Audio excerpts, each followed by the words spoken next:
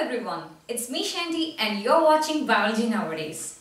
In this video, we will see classification, general characteristics and economic uses of pteridophytes, the members of the third group coming under plant kingdom.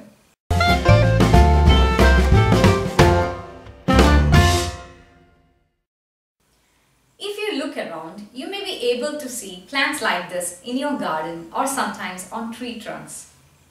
They belong to the group Pteridophytes. Pteridophytes are a very old group of land plants. According to the fossil records, they have been on Earth for at least 360 million years.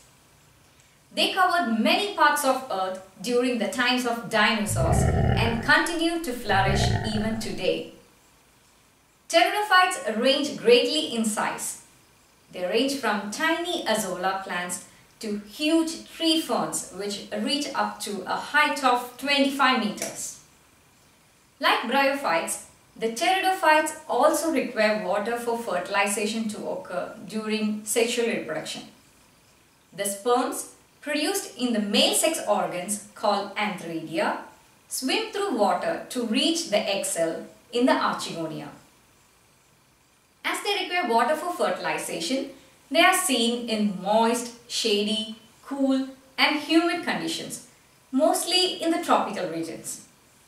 But some members of the pteridophytes are also seen in temperate regions. You may be remembering that the main plant body in bryophytes is haploid and gametophyte, which produces gametes.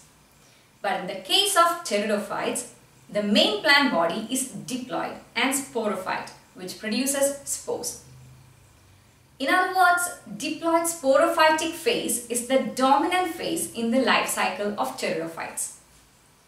Actually, during the course of evolution in plants, the diploid sporophytic phase became dominant, whereas the haploid gametophytic phase got reduced. In this picture, you can see that in the lower plant groups like algae and bryophytes, the haploid gametophyte is the main plant body, while in pteridophytes and in higher plant groups like gymnosperms and angiosperms, the main plant body is diploid and sporophyte.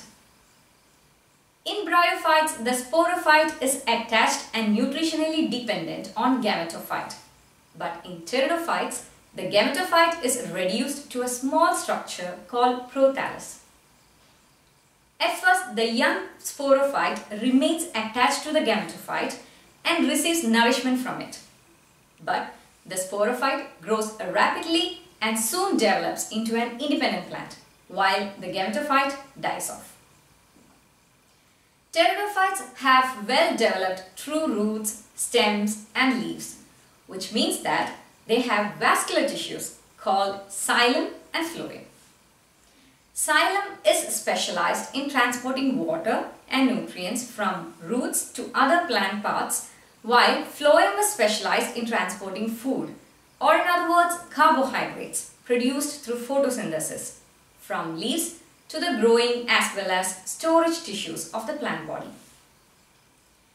The advent of the plant vascular system is one of the most important moments in the evolution of life on earth. Because of the vascular system, the water and food can be transported over more distances in the plant body, allowing plants to increase in size and more successfully invade land. Pteridophytes are called vascular plants because of the presence of vascular tissues. The plants belonging to gymnosperms and angiosperms are also vascular plants. But obviously, pteridophytes are the first vascular plants. As you already know, the groups algae and bryophytes don't have vascular tissues and so they are called non-vascular plants. Pteridophytes belong to four classes, Psilopsida, Lycopsida, Sphenopsida and Pteropsida. Let's see the main characteristics and representative members of each class. First of all, the class Psilopsida. The members belonging to the genus Psilotum are examples. Psilotum is unique among living vascular plants because it lacks both roots and leaves. Instead of true roots, Psilotum have rhizoids. The main plant body or sporophyte produces haploid spores after meiosis division in sporangia. Sporangia are seen on the short lateral branches. The second class is Lycopsida. Members of genus Lycopodium, commonly called as club mosses, are examples for this class. But remember one thing, even though they are called club mosses, they are not related to the true mosses coming under bryophytes.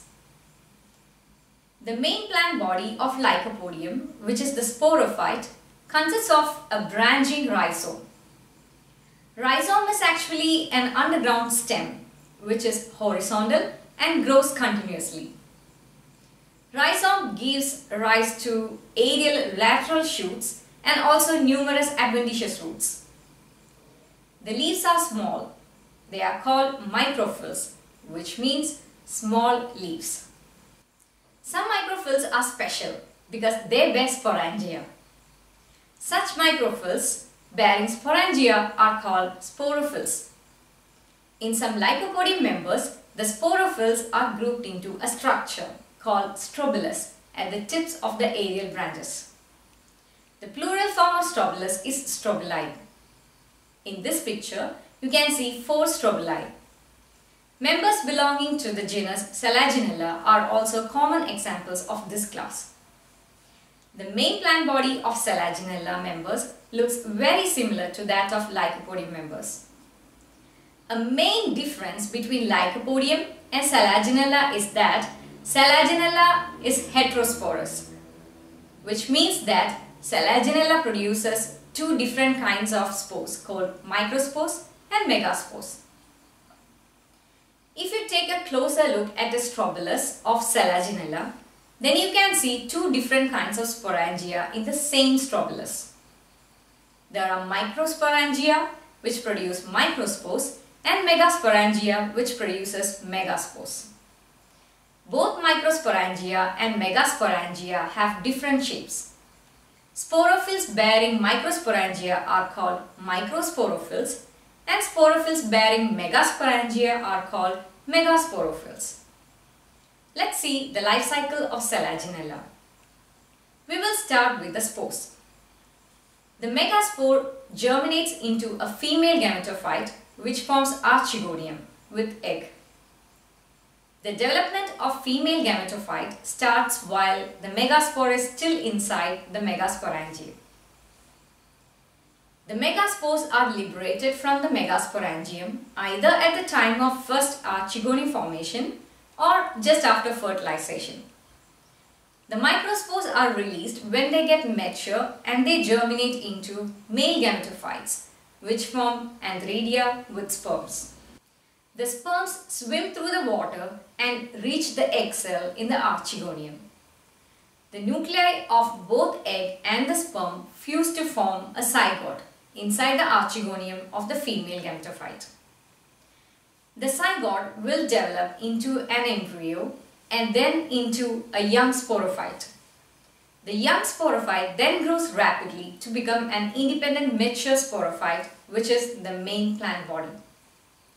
The mature sporophyte forms strobilus with microsporangia and megasporangia.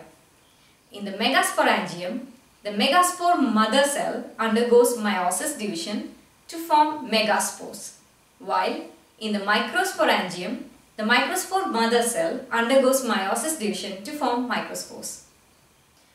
Coming to the third class, Sphenopsida. Equisetum is a common example of this class. They are commonly called as horsetails. The name horsetail is given because the branched species of Equisetum somewhat resemble like horse tail. Even the scientific name Equisetum is derived from the Latin word equus, meaning horse, and seta, meaning bristle. In Equisetum, the small leaves, that is, the microphylls, are reduced to scale-like structures. The microphylls are fused and whorled at the nodes. Equisetum also has strobili at the apex of the stem. In the strobilus, there are many small umbrella-like structures called sporangiophores. The sporangiophores bear sporangia. Sporangia are seen in groups of 5 to 10 along the margins of each sporangiophore. Like Psilotum and Lycopodium, Equisetum is homosporous, which means that it produces only one type of spores. Now let's learn about the fourth class, Pteropsida. Members belonging to the genus Dryopteris, Pteris, Adiantum are some examples. The members of the class Pteropsida are commonly called as ferns. I'm pretty sure that you will be very familiar to this group of pteridophytes, especially due to their typical look. But some members of Pteropsida like Salvinia, Azolla and tree ferns may not have that typical fern look. The stem of most ferns is a horizontally growing underground rhizome. Vegetative reproduction is by forming buds on rhizome and also by fragmentation of rhizome. The rhizome produces numerous adventitious roots. In adiantum, whenever a leaf surface touches the soil, it gives out adventitious roots and forms a new plantlet, creating a walking effect. Hence it is called the walking fern. The leaves or fronds of ferns are big. So they are called megaphylls, meaning big leaves. Mostly megaphylls are pinnately compound. Another characteristic feature of ferns is that in most of the ferns, the young leaves are coiled in the bud. This type of leaf development is known as circinate vernation. As you can see in this video, when the fern leaf is formed, it is tightly curled so that the tender growing tip of the leaf is protected within the coil. As the leaf grows, it unrolls from the tip. The coiled young leaves of ferns are commonly referred to as fiddleheads. Fiddle is the colloquial term for violin. The coiled leaf bud is called fiddlehead because it resembles the handle of a fiddle or violin. Most of the ferns are homosporous, which means that they produce only one type of spores. Spores are produced in sporangia. In ferns, the sporangia are seen on the lower surface of the leaves. Sporangia are found as clusters. A single cluster of sporangia is called a sorus. There will be many sorus on the lower side of the leaf. Plural form of sorus is sori. If you have a closer look at the sorus, you can see many tiny ball-like structures Actually, each of this tiny ball-like structure is a sporangium. And inside the sporangium, there are a lot of spores. As you know, haploid spores are produced in sporangia after meiosis division. Let's see the life cycle of a fern. We will start with the spores. The spore germinates into a gametophyte called prothallus. The gametophyte of most ferns has both sex organs. The male sex organs Antheridia produce sperms and the female sex organs Archegonia produce egg. The sperms swim through water and reach the egg in the archegonium. The nuclei of the sperm and the egg fuse to form zygote inside the archegonium. The zygote develops into an embryo and then into a young sporophyte which will be still attached to the gametophyte. Soon, the young sporophyte grows rapidly into a mature sporophyte which is the main plant body and the gametophyte dies off. The mature sporophyte produces clusters of sporangia on the lower surface of the leaves. When the spores in each sporangium get mature, the sporangium breaks open the top half first bends backwards and then come forward with greater force resulting in a catapult-like discharge of the spores. Check out the link of this video in the description box below. We already saw different classes of pteridophytes. So let's have a short look at the general characteristics of pteridophytes.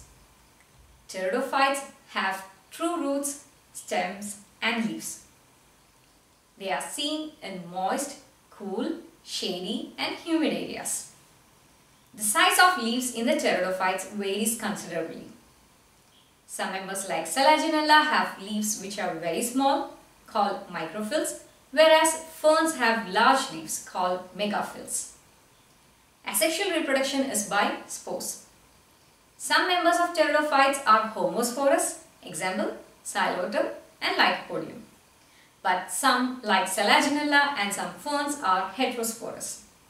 The adoption of heterospory and the retention and germination of a single megaspore within megasporangium to form a female gametophyte as seen in the case of Selaginella and some heterosporous ferns led to the phenomenon of seed habit. And this phenomenon has taken its completion in gymnosperms and angiosperms by developing naked seeds and covered seeds, which we will see in the upcoming videos. Spores germinate into gametophyte called prothallus. Sexual reproduction is oogamous. Here, the big female gamete or egg is non-motile while the smaller male gamete or sperm is motile. For fertilization to occur, water is necessary. The zygote formed by the fusion of male and female gametes develops into a young embryo which grows by mitosis division and form a sporophyte which is the main plant body. Pteridophytes show diplohaplontic life cycle as the diploid sporophytic phase is the dominant phase in the life cycle of pteridophytes. Finally, let's see the economic uses of pteridophytes. The tiny aquatic fern Azolla is used as a biological fertilizer in rice fields. The cyanobacteria called Anabaena azollae live in the leaf cavities of Azolla. These bacteria in Azolla have the ability to fix atmospheric nitrogen and make it available to other plants. And this ability has led to extensive use of Azolla with water crops such as rice. Pteridophytes are used in the horticulture. Rumohra adiantiformis is called the florist fern. Since the leaves of this fern will not dry that fast, they are used in the cut flower arrangements. Fiddleheads are used as vegetable because of their nutritional value. Fiddleheads are normally cooked before consumption. Having raw fiddleheads may cause food poisoning. Lycopodium powder consisting of the spores of Lycopodium was used as a flash powder for earlier photography and also as fingerprint powder in forensic investigation. Let me ask you a question. You may know that we humans have 46 number of chromosomes. But do you know which is the organism with the highest number of chromosomes? It's a pteridophyte, a fern called Ophioglossum reticulatum with 1440 number of chromosomes. From this fact, you might have also understood that there is no much relation between the chromosome number and the size of an organism. And that's all for this video. In the next video, we will see the group Gymnosperms. Thank you for being with me and stay tuned.